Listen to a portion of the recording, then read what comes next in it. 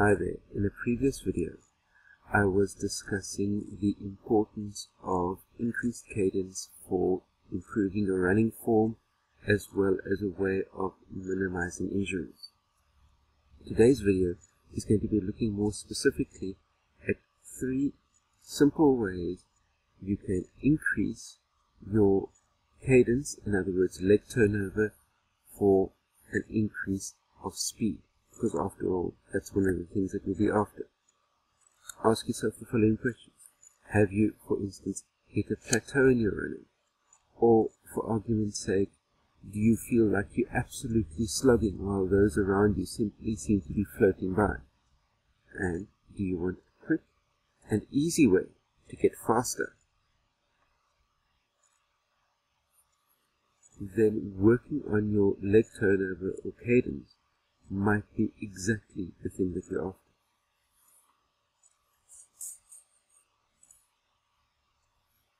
If you're wanting more detail on what cadence is and what it can do for you, have a look at my other video uh, that I've done on the subject and to make that even easier for you, down in the description column below is a link to that video.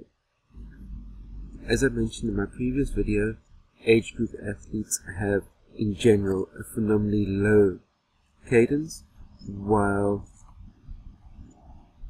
elite runners manage a foot strike rate of 180 or more per minute.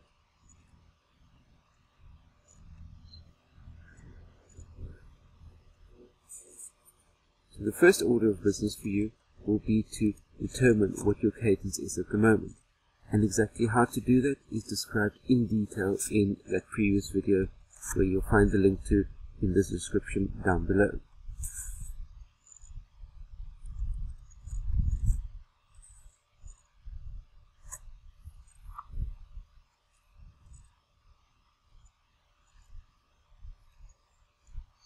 Improving your cadence is not difficult at all, but it does take a certain amount of time to ingrain that new cadence, that new leg turnover as a muscle memory into your system that you can do easily on each and every one of your runs and races.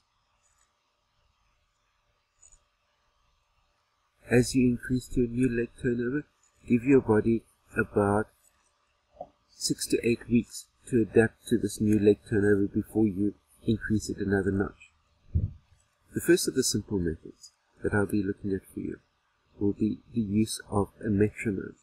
a metronome is a device that ticks a certain number of beats per minute, which means that if you choose your desired cadence that you want to do, and you use a metronome, you just make sure that your feet strike the ground in time to the metronome. But obviously, a metronome as a device is highly impractical to carry around with you on your next training run. So a wonderful resource that you can be looking at is the music that you listen to while you're running. Choosing music with the right number of beats per minute. And to make that even easier, the wonderful folks down at the website called JogTunes have divided their music library up into tracks grouped together by beats per minute. So all you need to do is head over to JogTunes again. I'll put a link to the website down below. And no, I'm not affiliated to them. I get no coin out of this whatsoever. But it's a wonderful resource that I use myself.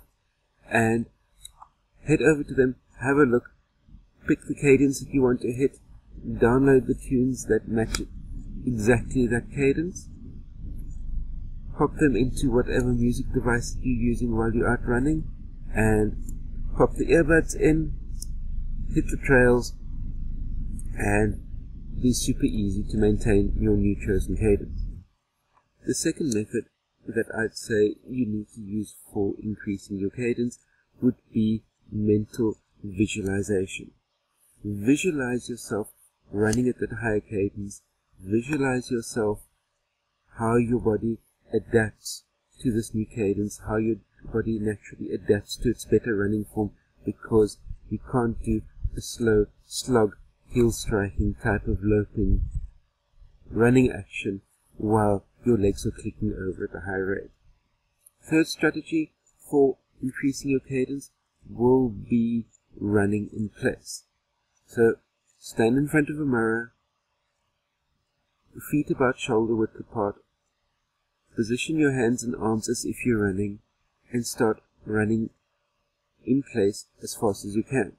Make sure your knees are facing straight ahead while you're running in place and run in place as fast as you can for about 20 seconds, then rest a minute. And during that 20 seconds, count the number of times your right foot is striking the ground when, when you're going there as fast as you can. And you do this drill three times. 20 seconds on, minute off. 20 seconds on, minute off, 20 seconds on again. So what have you done? You've done a running in place drill where you've been doing your running, the running in place has been for a period of a minute. Count the number of times you right foot has struck the ground over the course of that minute, double it, and you'll get what your cadence is when you are actually pushing yourself to be able to be running in place at as high a cadence as you possibly can.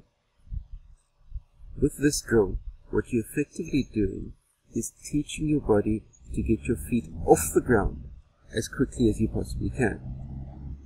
And while you're out running, it's the getting your feet off the ground quickly that translates into a higher cadence. And what's more, if you watch yourself running on the ground like that, you will notice that running in place, it is almost impossible to run in place with a heel strike.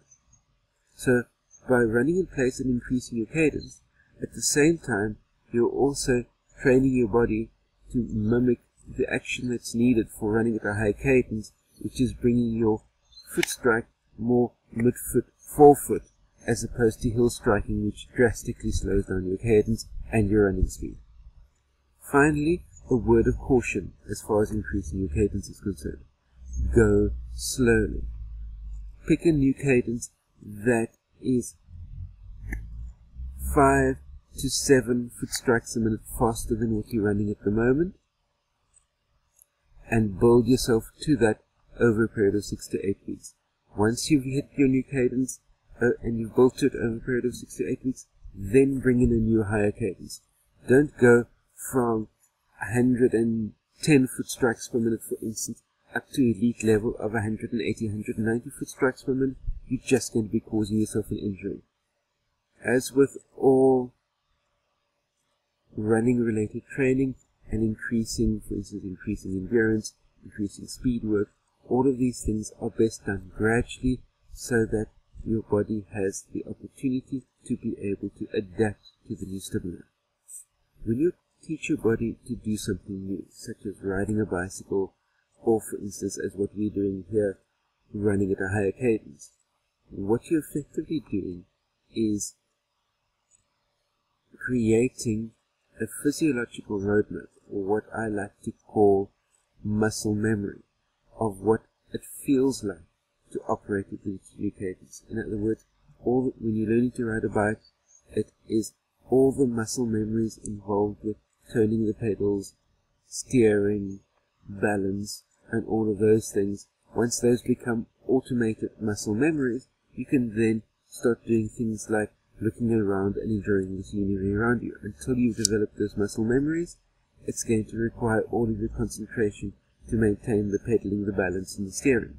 The same thing with your new cadence, is that it's going to require a concentrated effort on your part to work on your new desired cadence until your body adapts and it becomes a muscle memory. Once it becomes a muscle memory, your body will automatically slot into that cadence when you're out running. That's it for this time. Please remember to click the like button down below and also share this video out amongst your running friends. Share the word.